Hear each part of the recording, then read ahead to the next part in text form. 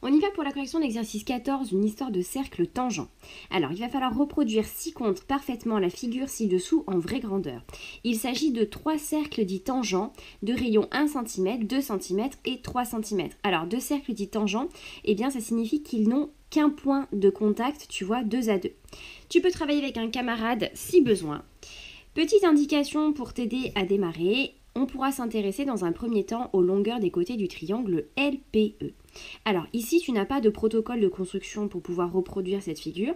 Donc ça va être seulement après l'avoir analysée que tu vas comprendre comment elle est construite et que tu pourras toi aussi euh, la reproduire. Alors, si on s'intéresse déjà... Alors, sur cette figure, il est essentiel que tu aies d'abord placé les trois points L, E et P, puisque une fois que tu auras placé ces trois points-là, tu n'auras plus qu'à construire les trois cercles et ce sera terminé. Alors, comment placer justement ces trois points? On va s'intéresser d'abord au segment LP. Ça, c'est le cercle de centre L et de rayon 2 cm. Donc ici, tu as 2 cm. Ça, c'est le cercle de centre P et de rayon 3 cm. Donc finalement, ton segment LP, il mesure 2 cm plus 3 cm, c'est-à-dire 5 cm. Ensuite, le segment LE. Alors, LE, ça, c'est le cercle de centre E et de rayon 1 cm. Donc ton segment LE, il mesure 2 cm plus 1 cm, c'est-à-dire 3 cm. Et enfin, ton segment EP. Ton segment EP, il mesure 1 cm plus 3 cm, c'est-à-dire 4 cm. Alors, on peut commencer par tracer le segment LP. LP, il doit faire 5 cm. Alors, c'est parti.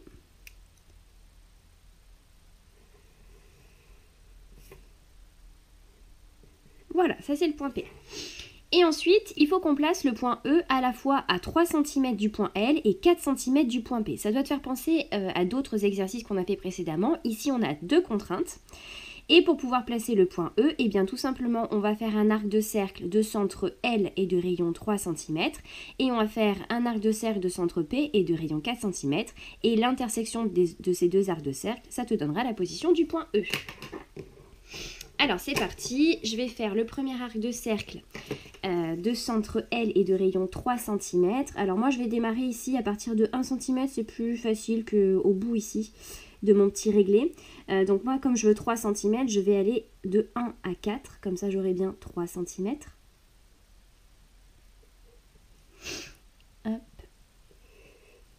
Et ensuite, je fais un arc de cercle de rayon 4 cm. Donc moi, je vais entre 1 et 5 pour avoir mes 4 cm.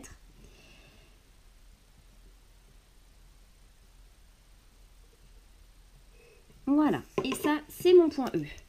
Et maintenant qu'on a nos trois points de placer, eh bien, on n'a plus qu'à construire les trois cercles et c'est terminé. Allez, je vais commencer par le cercle de centre E et de rayon 1 cm.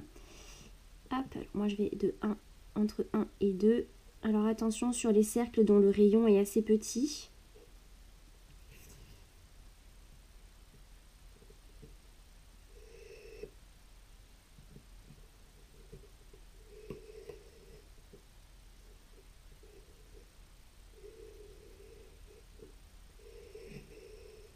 Voilà, ensuite j'ai construire mon cercle de centre L euh, et de rayon 2 cm. Donc moi je vais entre 1 et 3 pour avoir mes 2 cm.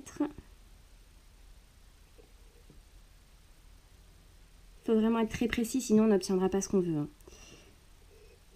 Hop, donc là tu vois, les deux sont tangents.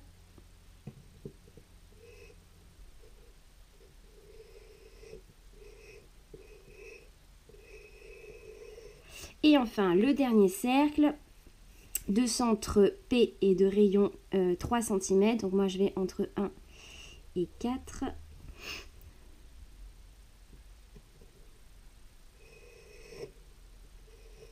Et tu vois, on obtient ici nos trois cercles qui n'ont bien qu'un seul point de contact, deux à deux. Et voilà, c'est terminé pour cet exercice.